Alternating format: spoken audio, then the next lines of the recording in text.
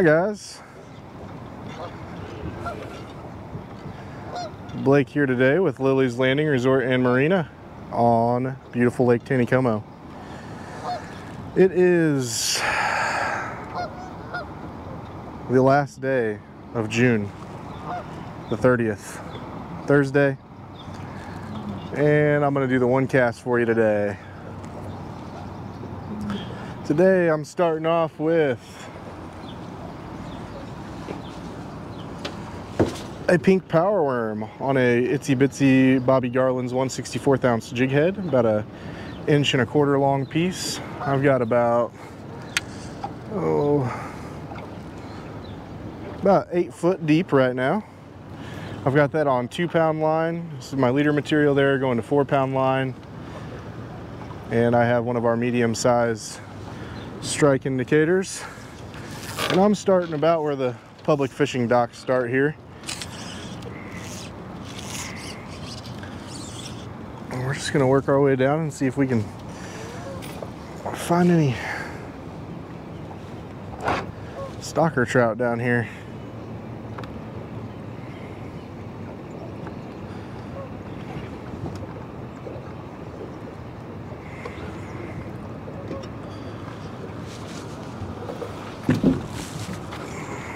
Another beautiful day. Touch, oh, there was a fish. All right, that's a miss on the first cast. Ah, always when I'm getting up to mess with something.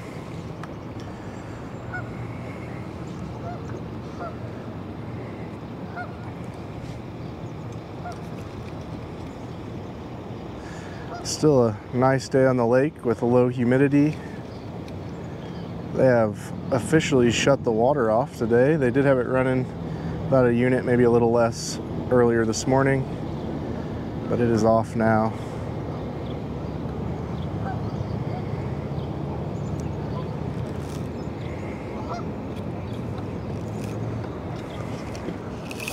Seeing quite a few stocker fish jumping around me. That's a good sign. And it's a little bit afternoon, so I'm concentrating a little out here more in this 10 foot depth of water. Got that set at about eight foot. Missed another one. They're not biting it too hard. Um,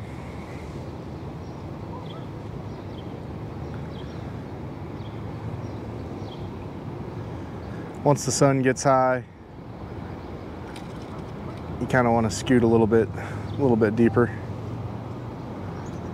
But all the reports from all the guides this morning, Captain Dwayne, Captain Jeremy, uh, Steve Dickey, and a few others said that the bite this morning was much better than it was yesterday morning.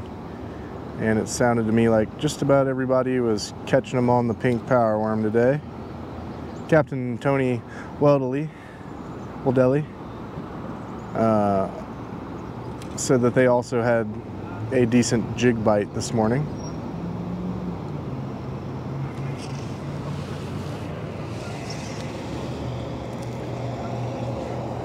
And I've also got with me a 132nd ounce jig to free jig down here and um, and a seven foot spin cast rod with a uh, PJ's finesse 100th ounce marabou jig. All things that work pretty good down here on this end of the lake.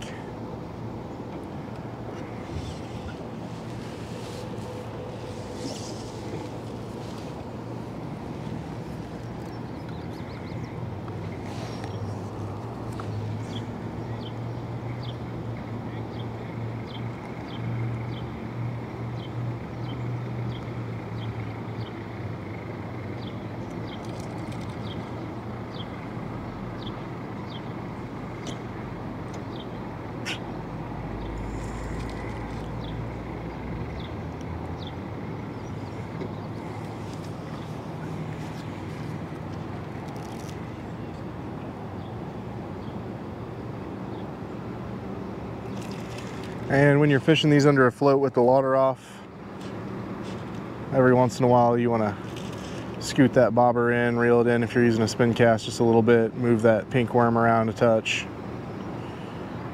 Give it just a little bit of extra action.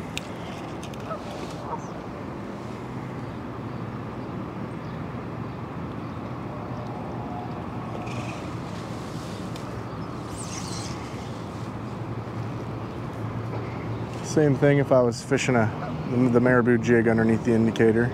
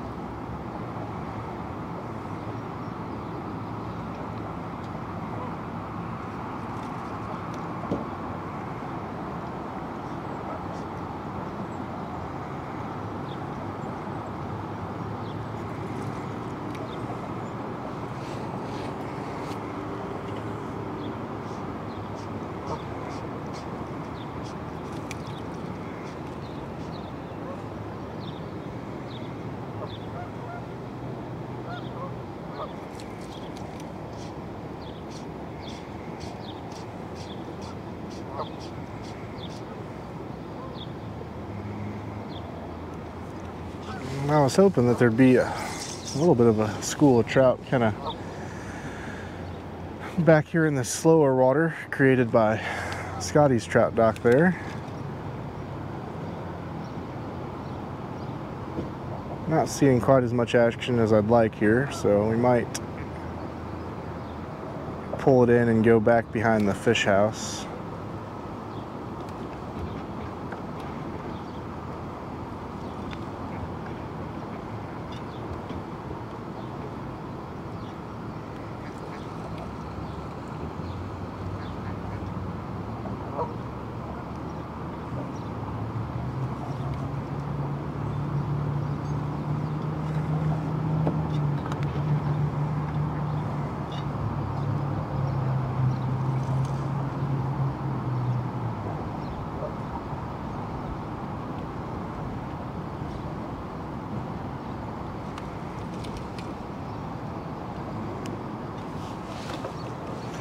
Think I'm setting over deep enough water that might be, might, might try going a little deeper too. We'll, we'll set it about 10 foot and see what happens.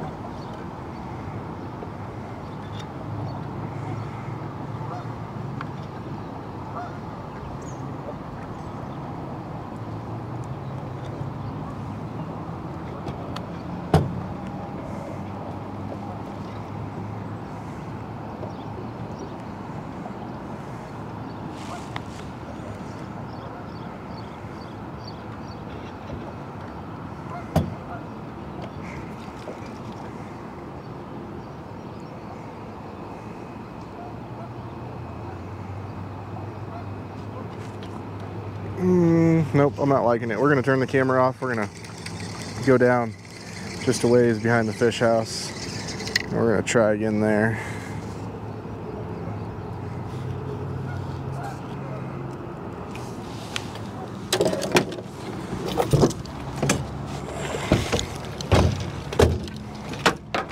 Be right back. All right. Just a short little drive here, and we are now behind the White River Fish House. I'm gonna go back to the pink power worm again.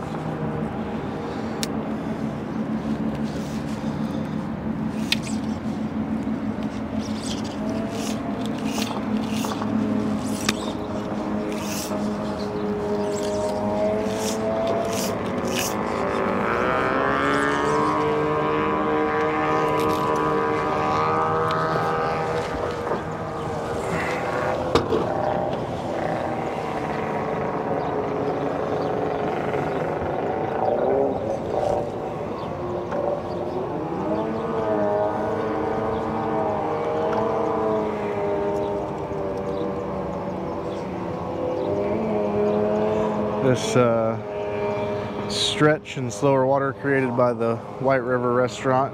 Usually a spot where there's some fish, and there was one right there.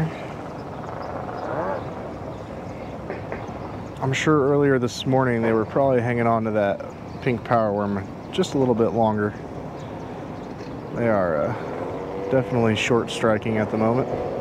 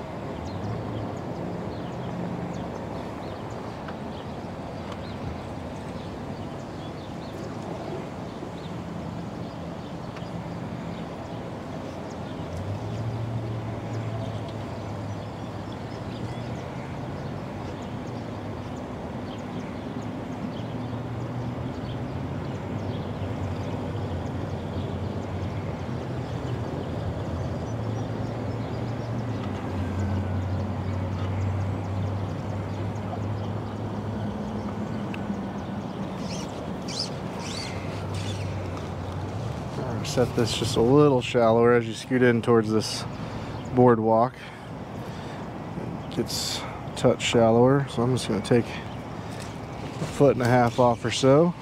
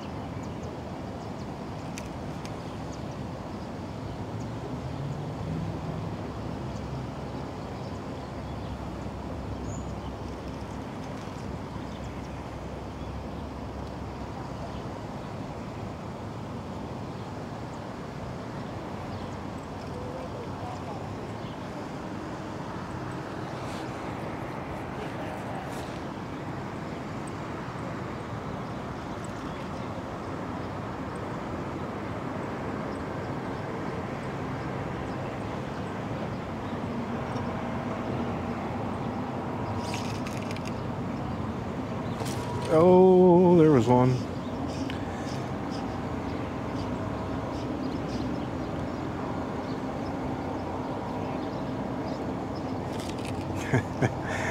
uh, I think they're chasing it. Whenever I move it, the, is whenever they are attempting to take it.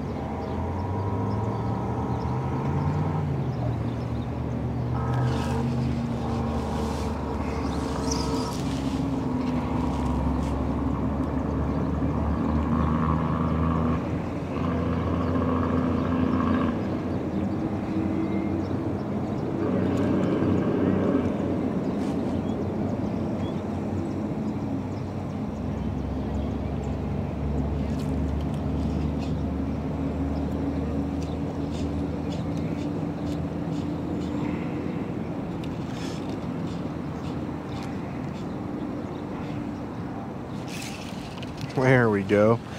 So the only adjustment I made there was since I think they were chasing it, I was slowly scooting the bobber the whole time after I let it sink. And he took the bait.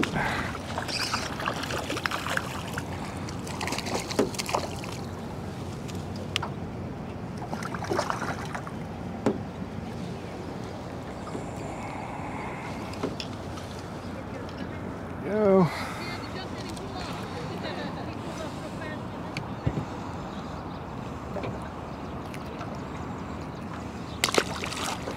So, uh, there were times last summer I remember where when you were fishing with the water off and a float, you basically had to keep that float moving. And today might be somewhat similar.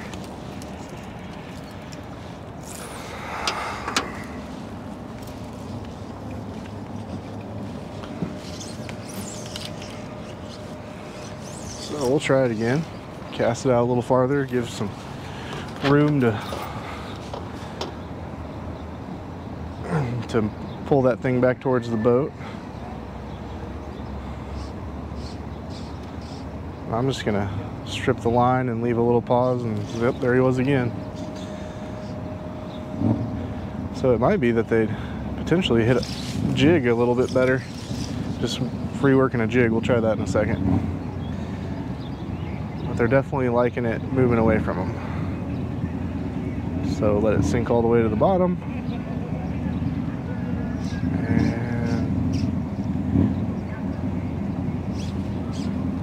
And yep. That's exactly how they want it today.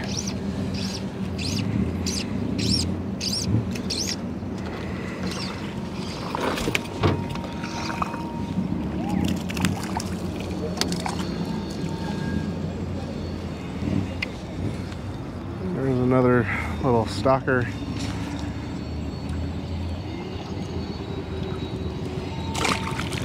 So this is something that's real simple. You do not have to use a fly rod to do this. You can do this on a spin cast rod, preferably a longer one, like a seven to nine foot, so that you got some room to put that thing underneath the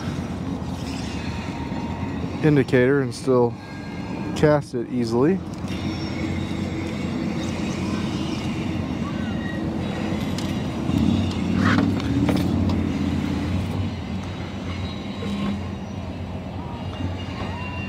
Um, if they're feeling chasey like they are right now, then I would suggest even a spoon. Spoons seem to work pretty good on the freshly stocked fish down here. If you're wondering what that screaming is, it is not somebody dying. It is the zip line that goes over the lake into the landing.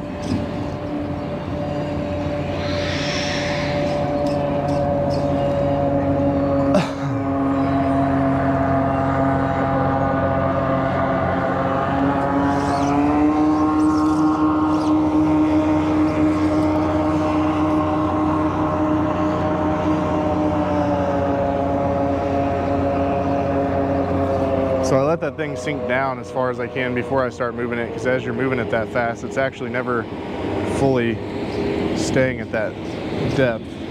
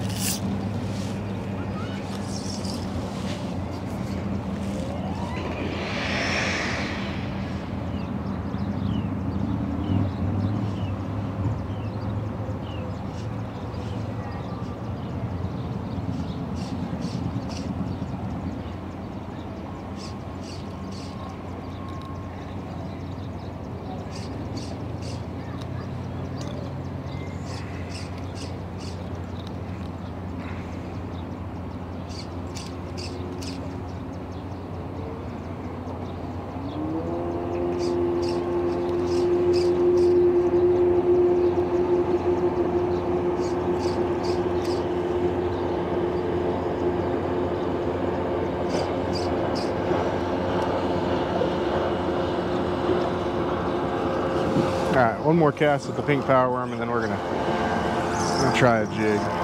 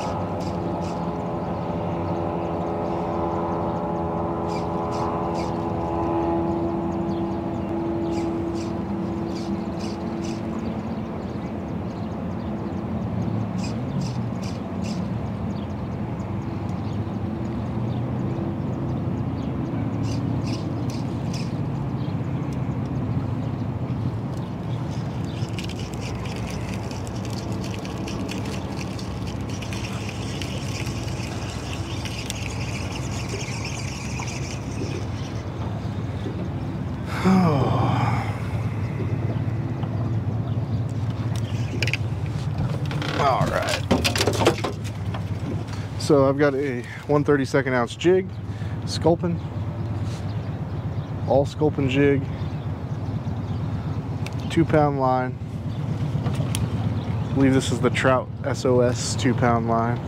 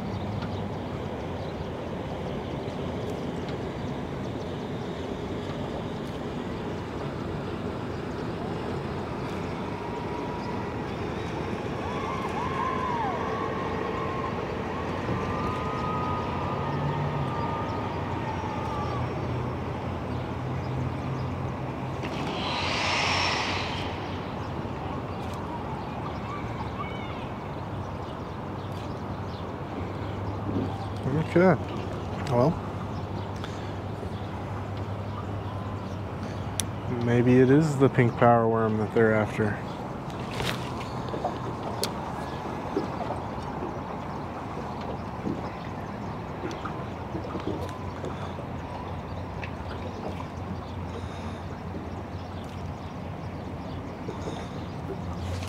Oh, there was a fish.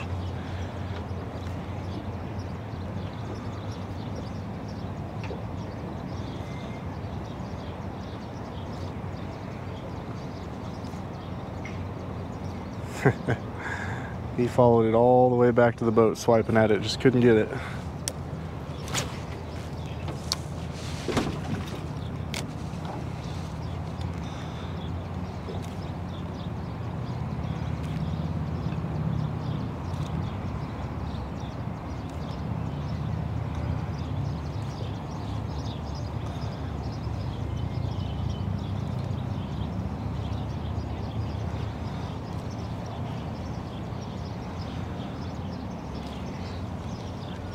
Okay. Well, I think we're going to call it a day there. But we thank you guys for watching. Like and share us on Facebook, and we'll get out and do it again tomorrow. Thanks, guys.